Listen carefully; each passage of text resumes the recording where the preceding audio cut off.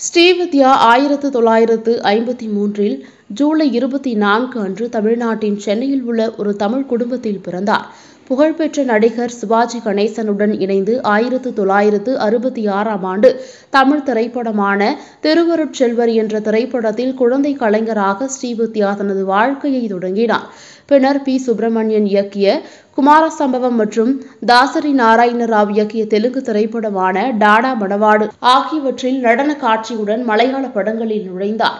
இருப்பினும் இவரது முதல் பெரிய பாத்திரம் கே. பாலச்சந்தர் இயக்கிய ஆயிரத்து தொள்ளாயிரத்து எழுபத்தி ஒன்றாம் ஆண்டு தமிழ் திரைப்படமான நூற்றுக்கு நூறு ஒரு கல்லூரி மாணவி தனது பேராசிரியரை காதலிக்கும் கதாபாத்திரமாக இருந்தது.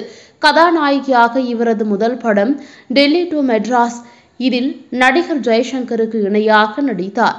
ஆயிரத்து தொள்ளாயிரத்து எழுபதுகளின் நடுப்பகுதியில் இவர் தமிழ் திரையுலகில் அதிக படங்களில் நடிக்கும் ஒரு நடிகையாகிவிட்டார். கே. பாலச்சந்தர் இயக்கிய வெள்ளி விழா சொல்லத்தான் நினைக்கிறேன் மற்றும் அபூர்வ ராகங்கள் போன்ற படங்களில் நடித்தார்.